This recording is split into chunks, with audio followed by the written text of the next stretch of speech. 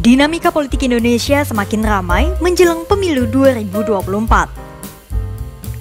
Golkar dinilai berpeluang keluar dari koalisi Indonesia Maju jika Gibran Raka Buming Raka tidak jadi bacawa pres Prabowo. Bahkan, Golkar dinilai bisa membentuk poros koalisi baru. Direktur Eksekutif para sindikat Arinur Cahyo bilang, PAN juga bisa keluar dari KIM.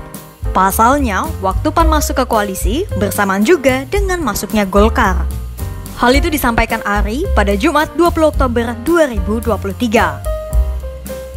Terlebih, kini sudah memasuki masa pendaftaran Capres dan Cawapres di KPU.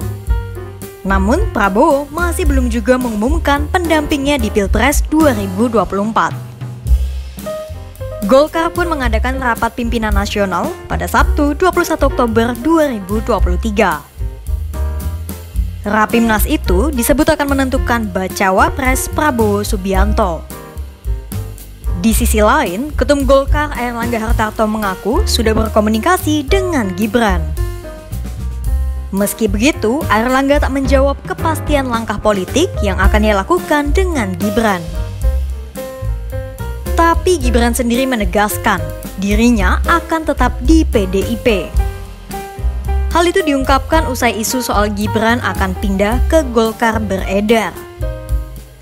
Apa pun keputusan partai politik, semoga atmosfer pemilu 2024 tidak menimbulkan perpecahan di masyarakat ya, sahabat kompas.com.